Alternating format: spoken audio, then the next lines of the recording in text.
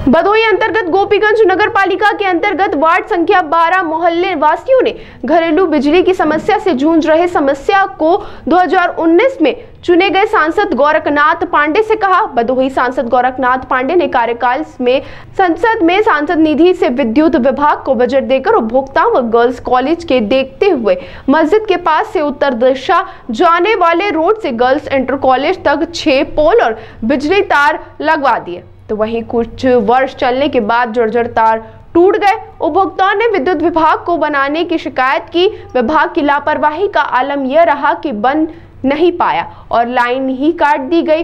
विभाग ने यह कहकर पल्ला झाड़ लिया कि ओपन तार होने की वजह से कटिया मारों से बिजली चोरी हो रही। विभाग ने आश्वासन दिया कि बंद केबल लग जाएगा।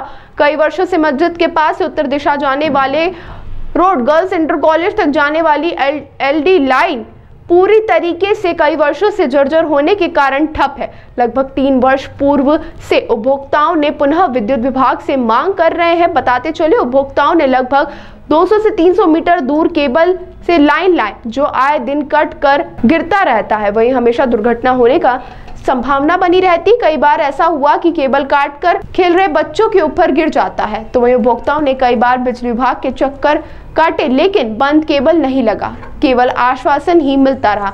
लेकिन गोपीगंज विद्युत विभाग की लापरवाही, यह जीता जागता सबूत है। उपभोक्ताओं की शिकायत के बाद में गोपीगंज विद्युत विभाग के कान में जू तक नहीं रेंग रही। गोपीगंज विद्युत विभाग सरकार को बदनाम करने में कोई कसर नहीं छोड़ रहे।